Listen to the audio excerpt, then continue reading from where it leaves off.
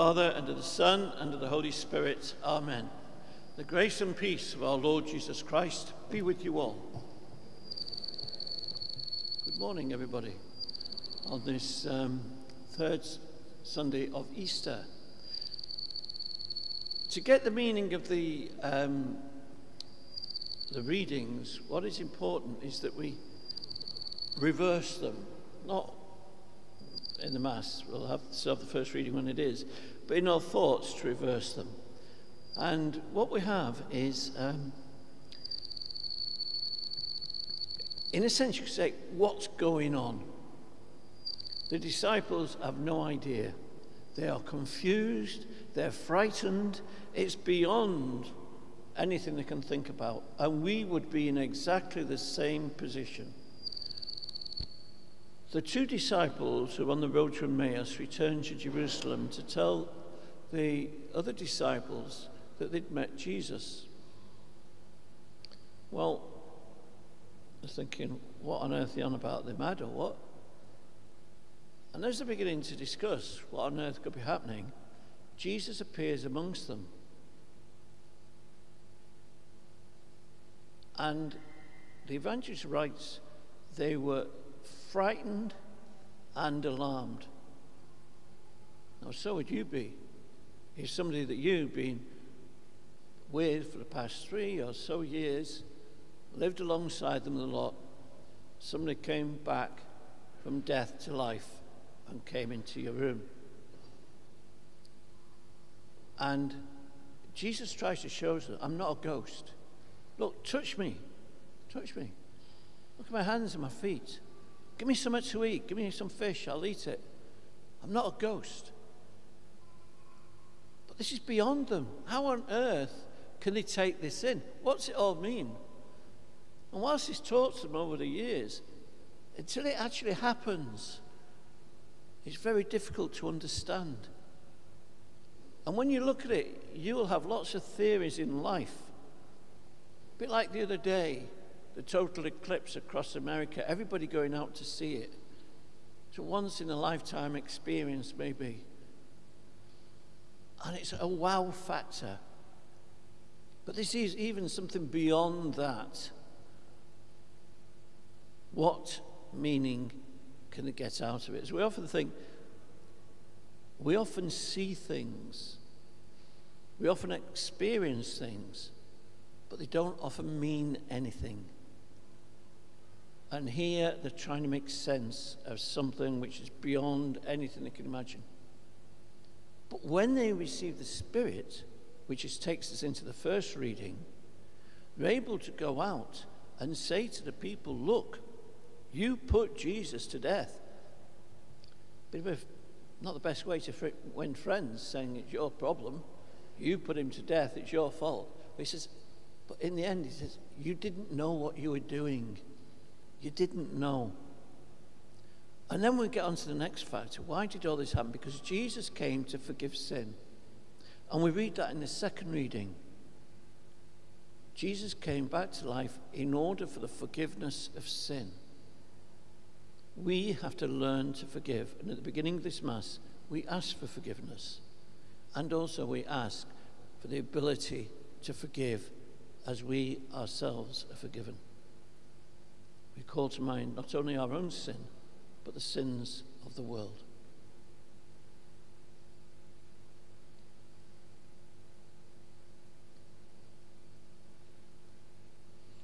Lord Jesus, You have revealed yourself as the way to the Father. Lord, have mercy. You have poured out on your people the Spirit of truth. Christ, have mercy. You are the Good Shepherd leading us to eternal life. Lord, have mercy. And may Almighty God have mercy on us, forgive us our sin, and bring us to everlasting life. Glory to God in the highest, and on earth peace to people of good will. We praise you, we bless you, we adore you, we glorify you. We give you thanks for your great glory, Lord God, Heavenly King, O God, Almighty Father. Lord Jesus Christ, only begotten Son, Lord God, Lamb of God, Son of the Father, you take away the sin of the world, have mercy on us. You take away the sin of the world, receive our prayer. You are seated at the right hand of the Father, have mercy on us.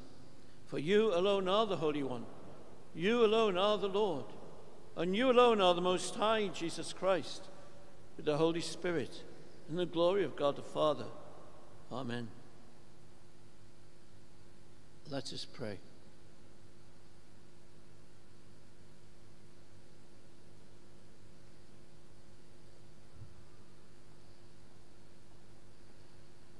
May your people exult forever, O God, in renewed youthfulness of spirit, so that rejoicing now in the restored glory of our adoption, we may look forward in confident hope to the rejoicing of the day of resurrection. To our Lord Jesus Christ, your Son, who lives and reigns with you in the unity of the Holy Spirit, God, for ever and ever.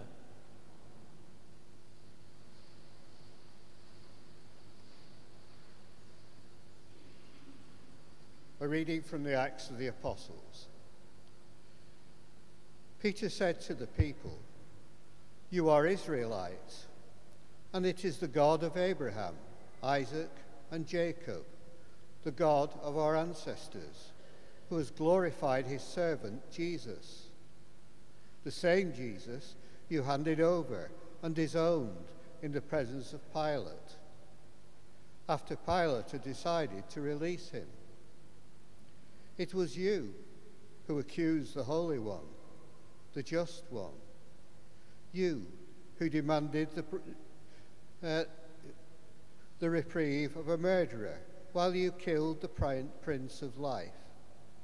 God, however, raised him from the dead, and to that fact we are the witnesses. Now I know, brothers, that neither you nor your leaders had any idea that what you were really doing. This was the way God carried out what he had foretold. When he said through all his prophets that his Christ would suffer. Now you must repent and turn to God, so that your sins may, may be wiped out. The word of the Lord. Response to the psalm is Lift up the light of your face on us, O Lord. Lift up the light of your face on us, O Lord. When I call, answer me, O God of justice. From anguish you released me. Have mercy and hear me. Lift up the light of your face on us, O Lord. It is the Lord who grants favors to those whom he loves. The Lord hears me whenever I call him. Lift up the light of your face on us, O Lord. What can bring us happiness? Many say. Lift up the light of your face on us, O Lord. Lift up the light of your face on us, O Lord. I will lie down in peace, and sleep comes at once. For you alone, Lord, make me dwell in safety. Lift up the light of your face on us, O Lord.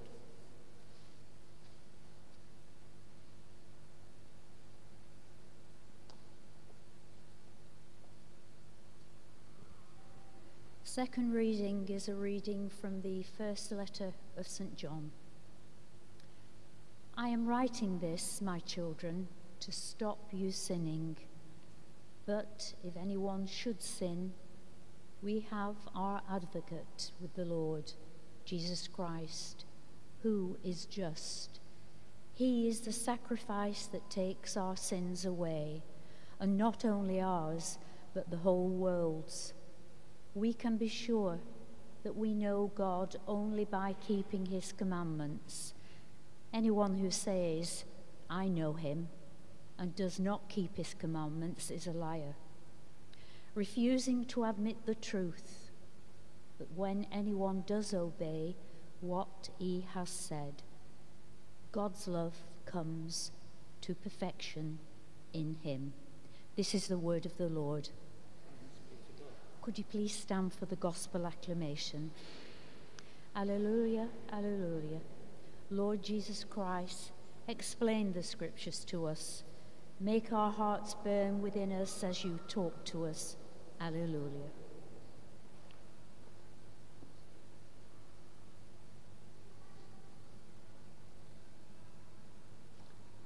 The Lord be with you. A reading from the Holy Gospel according to Luke.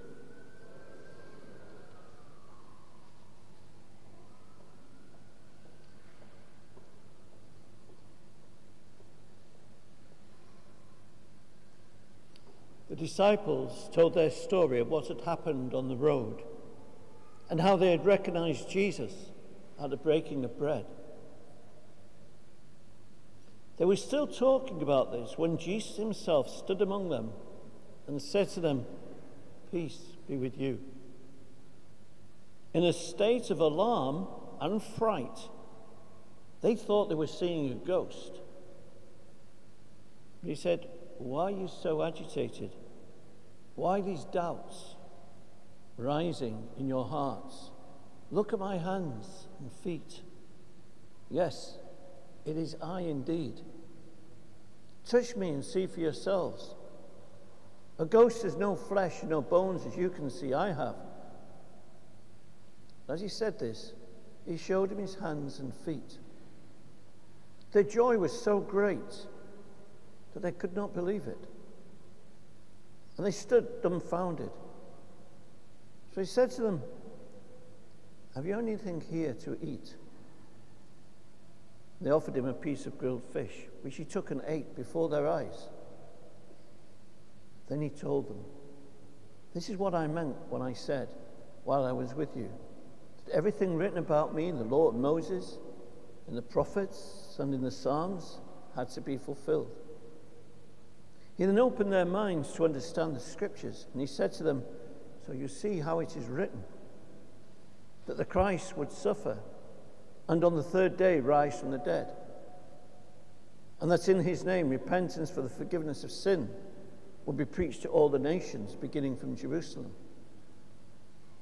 You are witnesses to this. The Gospel of the Lord.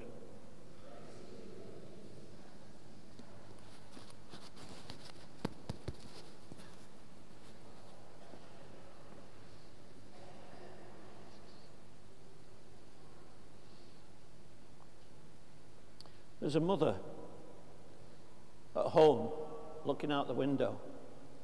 And in the garden, her two sons are having a good old fight. And she runs out. And they see her coming. And they untangle themselves. And they stand there, head bowed. And she said, What are you fighting about? Notice the question. Not stop fighting now. What are you fighting about? Because until we know the reason, can you then begin to deal with the problem? And yet, often, we never get down to the reason. If there's things that we don't understand, we just push it aside. And even things like the resurrection, Say, oh, I don't understand that. Leave that. Forget about that. we'll just carry on with our faith. Doesn't matter. You know, I love meeting students and asking them what it is that they study. And a few years ago, I met a student in Manchester. I was talking to him, I said, what, what are you studying? He said, quantum physics. I said, well, that's the end of that conversation then, isn't it? And he just looked at me and smiled. I suppose it is. I haven't the foggiest about quantum physics, even what it knows what it means. But obviously it meant a lot to him and his, you know, his brain was fully involved in it. Like this week, Peter, Sir Peter Higgs, the guy who's had so much to do with space work and quantum physics and at atoms colliding and everything. And lots been named after him. And they were showing him writing out this formula. And to me, it was just a load of squiggles. But to somebody, it means something. Now, is that what it's like with the resurrection? We don't understand it, so let's just push it aside. Maybe when the apostles were being told by Jesus in his teachings about Moses and about all the teachings from Scripture that he would die and rise again, oh, they just dismissed it. No idea what he's talking about, leave it alone. Until it happens. And it happens in front of them. And now it's a, whoa, whoa, what, what's, what's happening? We're uncomfortable with this. And he begins to explain to them what it means. And the impact of that then drives them out to tell others who are going to have the same reaction. Are you mad? We aren't the foggiest what you're talking about, but you're upsetting the people, so we'll put you to death. We'll flog you, we'll tell you to shut up, and eventually, if you don't shut up, we'll kill you, which is what happened. So, what is it about Easter do we find so difficult to get our heads around? Because physically, it's not possible for us to begin to think about. At the moment, when they're trying to work out space and how large it is and how it came into existence, we're talking of heaven, which is beyond all of that. And we can't get it into a physical way of understanding it. You know, I'm knocking on a bit now. I know I only look 21. But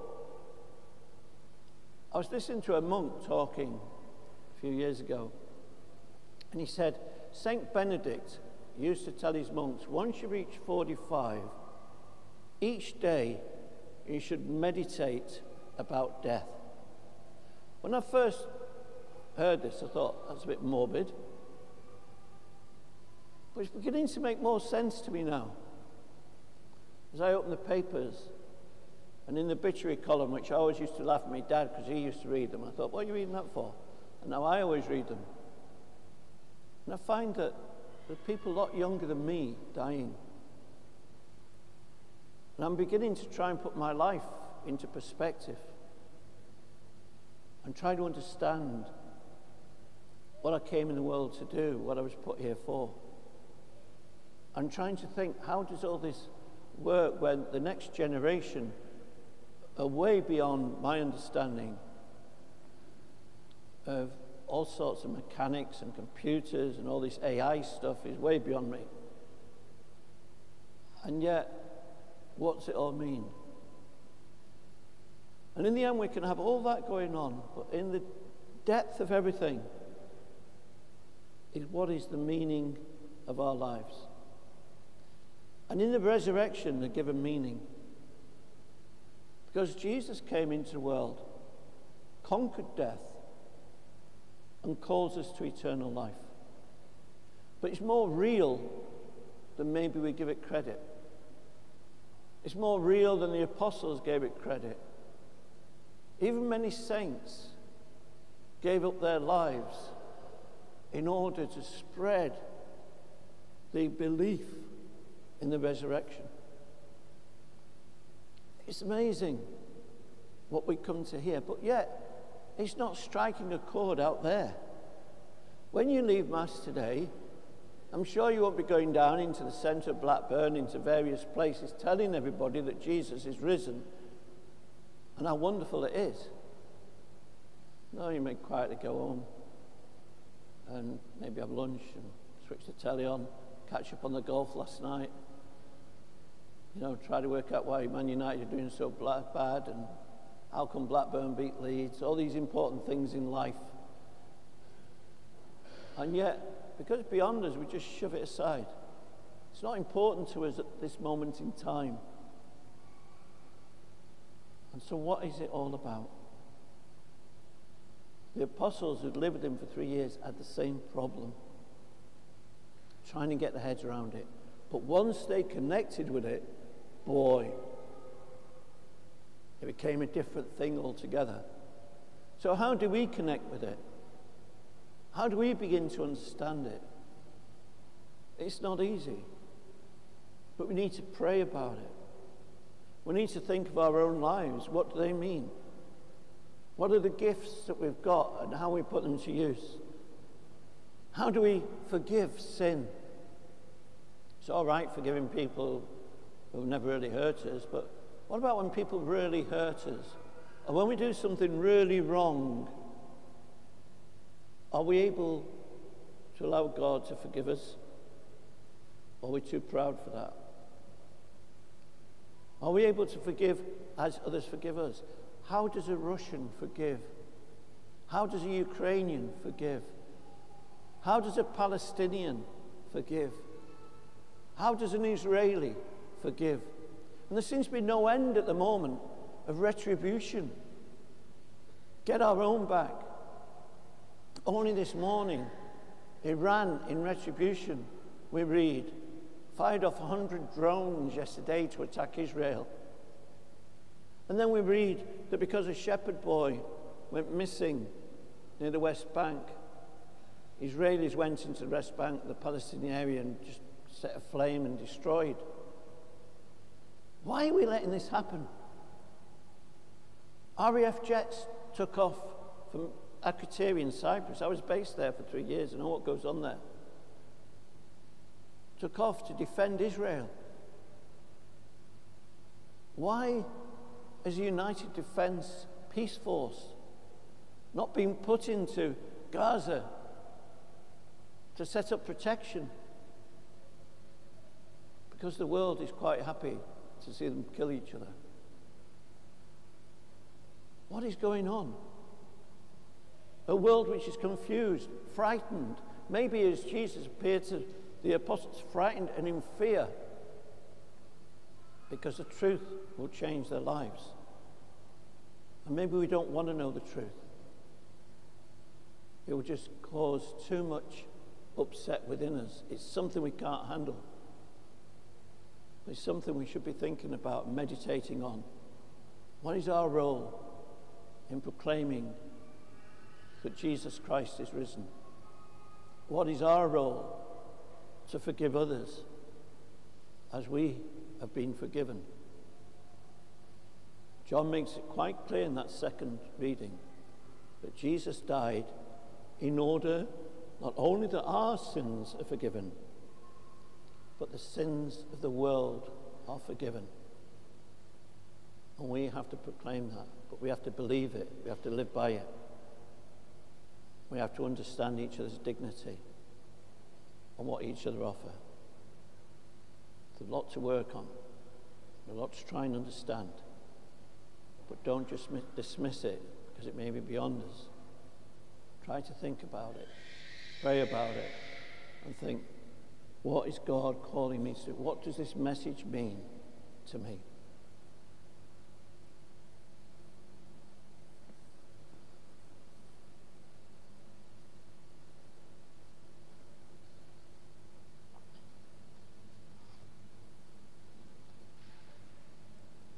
Let us stand and proclaim our faith.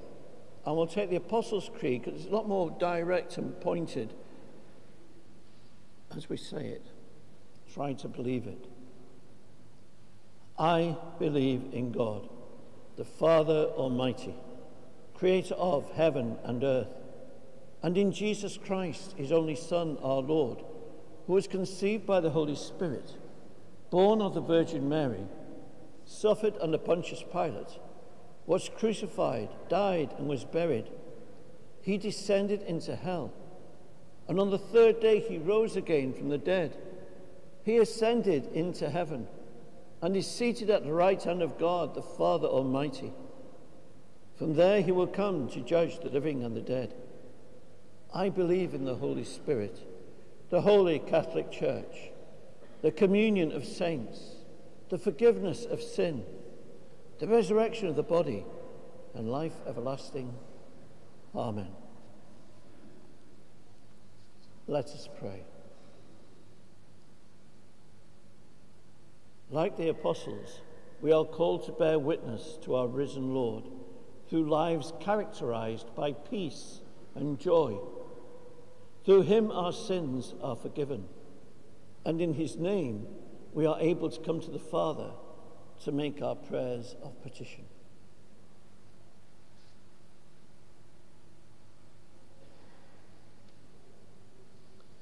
Let us pray for a deep faith and hope in the risen Lord. So that, like the first generation of Christians, we may share these gifts with others. Lord, hear us.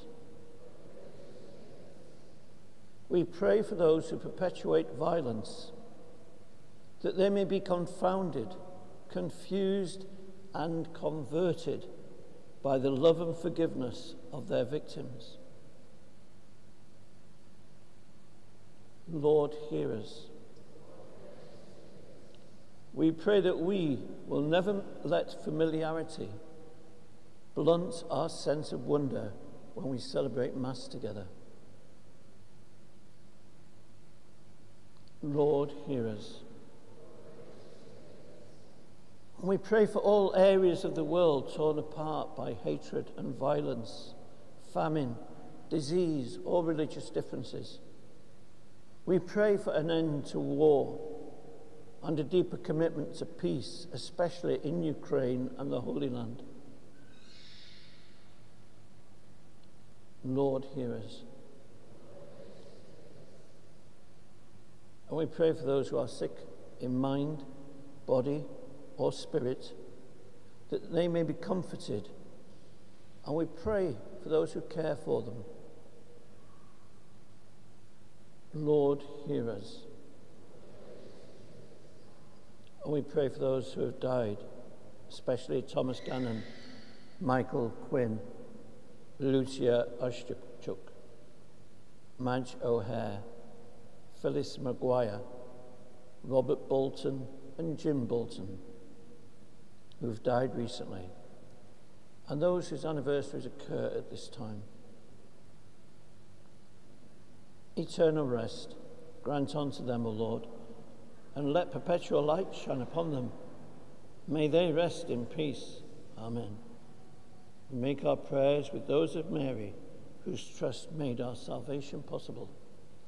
Hail, Mary, full of grace, the Lord is with thee. Blessed art thou among women, and blessed is the fruit of your womb, Jesus. Holy Mary, Mother of God, Pray for us sinners now, at the hour of our death. Amen. In the stillness of our own hearts, let us now speak to the God who loves us.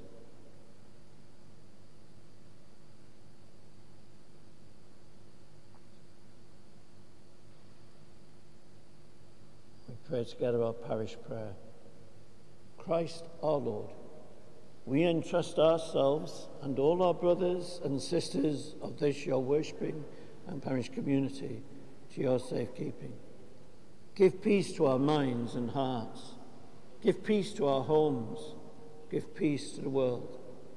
Make us strong in spirit and healthy in mind, body and mind. May we always be ready to follow where you may lead us and recognize you in everybody we meet. Amen.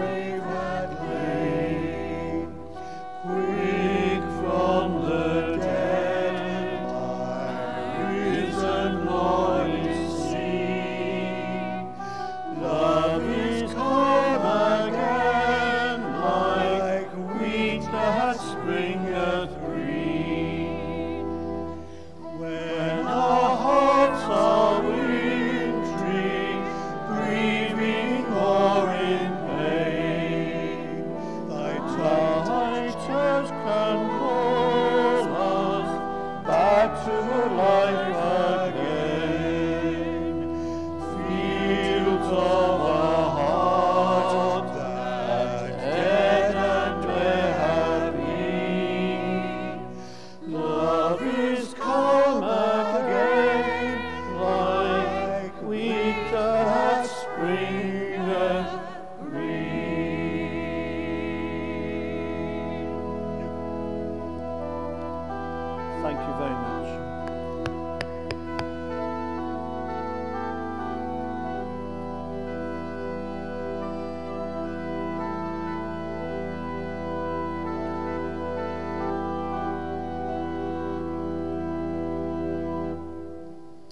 Pray, brothers and sisters, that my sacrifice and yours may be acceptable to God, the Almighty Father. May the Lord accept Christ from your hands. Praise and glory be his name, for our good and for his church. Receive, O Lord, we pray, these offerings of our exultant church. And as you have given her cause for such great gladness, grant also that the gifts we bring may bear fruit in perpetual happiness through Christ our Lord. The Lord be with you. Lift up your hearts. Let us give thanks to the Lord our God.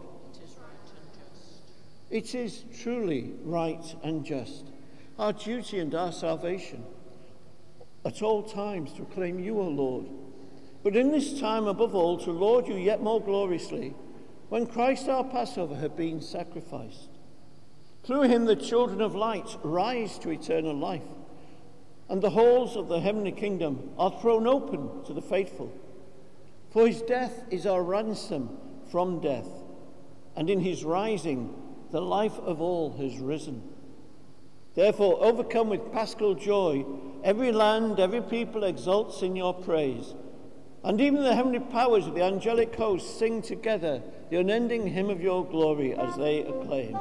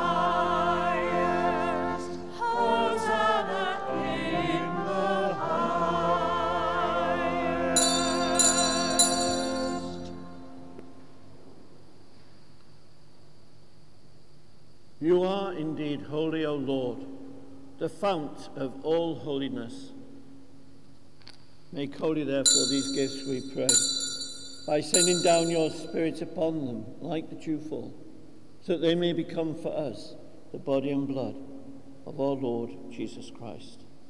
For at the time that he was betrayed and entered willingly into his passion, he took bread and giving thanks broke it gave it to his disciples, saying, Take this, all of you, and eat of it.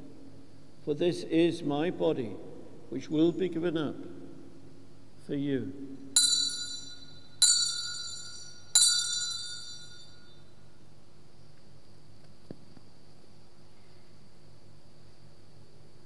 In a similar way, when supper was ended, he took the chalice and once more giving thanks, gave it to his disciples, saying, Take this, all of you, and drink from it. For this is the chalice of my blood, the blood of the new and eternal covenant, which will be poured out for you and for many for the forgiveness of sin. Do this in memory of me.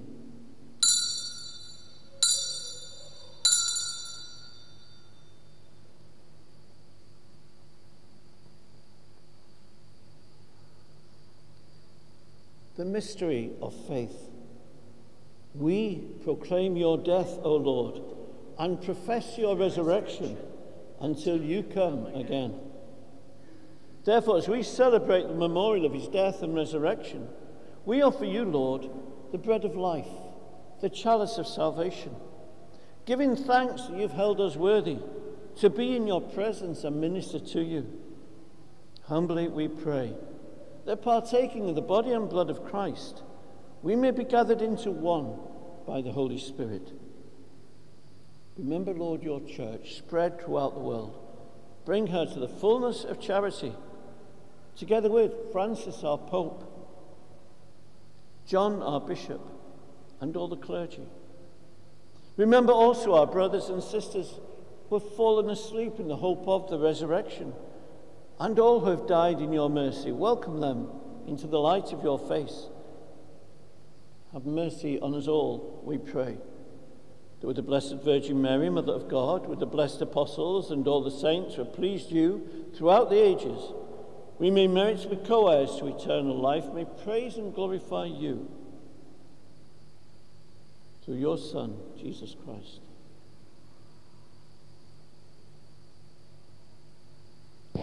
through him, and with him, and in him, O God, Almighty Father, in the unity of the Holy Spirit, all glory and honor is yours, forever and ever.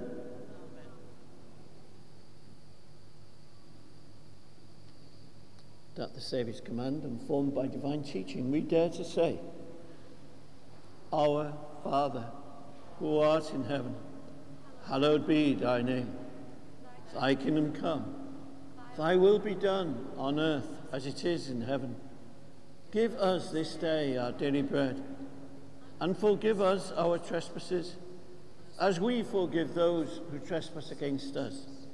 And lead us not into temptation, but deliver us from evil. Deliver us, Lord, we pray, from every evil. Graciously grant peace in our day, that by the help of your mercy we may be always free from sin and safe from all distress as we await the blessed hope and the coming of our Saviour, Jesus Christ. The kingdom, power, and the glory are yours, now and forever. Lord Jesus Christ, who said to your apostles, Peace I leave you, my peace I give you, look not on our sin, but on the faith of your church, and graciously grant her peace and unity in accordance with your will, who live and reign for ever and ever. The peace of the Lord be with you always. We offer each other some sign of peace.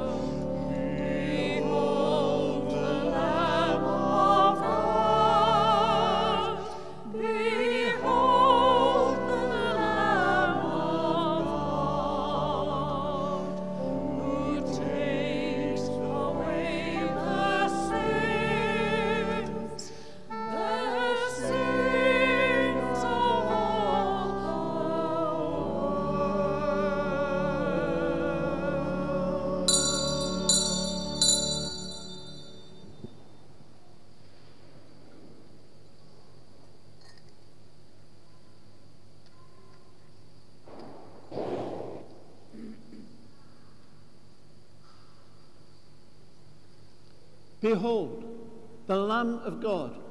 Behold him who takes away the sin of the world. Blessed are those who are called to the supper of the Lamb. Lord, I'm not worthy you should enter under my roof. Only say the word, my soul shall be healed. The body of Christ, keep me safe everlasting life.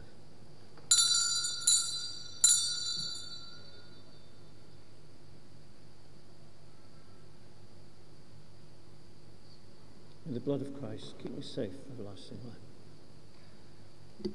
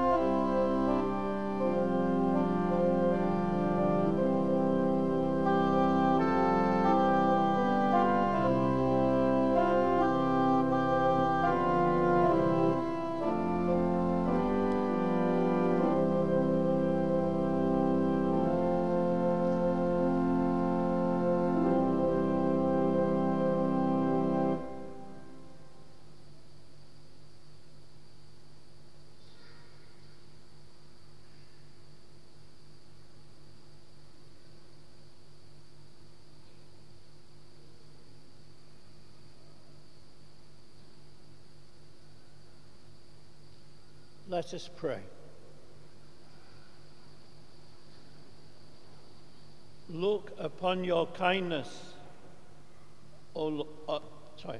Look with kindness upon your people, O Lord, and grant, we pray, that those you are pleased to renew by eternal mysteries may attain in their flesh the incorruptible glory of the resurrection through Christ our Lord. Just um, a couple of things. Father Jude is um, managing to sit still um, and not leap up. I don't know whether he won in the Grand National, but uh, he's been told not to put any weight on his leg for at least a month, so don't expect him back too fast. Uh, I will be with you next weekend, and then the weekend after, I'm away playing golf, which is what Father Jude should have been doing with us, but he's uh, going to be sat on his backside most of the time. And then um, we'll just see how things go from there. Also, um, next week is the fourth Sunday of Advent. is traditionally a Sunday where a collection is taken for the um, Ecclesiastical Education Fund, that is for the training of priests. So that'll be next week. Also, there is a message in the newsletter, again appealing for help with the little church, that is for the children to have the uh, scriptures explained to them and everything in their own way, and, um, and have prayers that they can follow uh, up to the offertory. It needs people to do it, you know, um, and, uh, you know, if we don't teach our children now about these essential things, give up the future of the church. You know, can't put it more plainer than that. The Lord be with you. And may Almighty God bless you all, the Father, the Son, and the Holy Spirit. Go and proclaim the gospel by your lives. I think there was a response there somewhere, but uh, take care and have a lovely lunch. Cheers.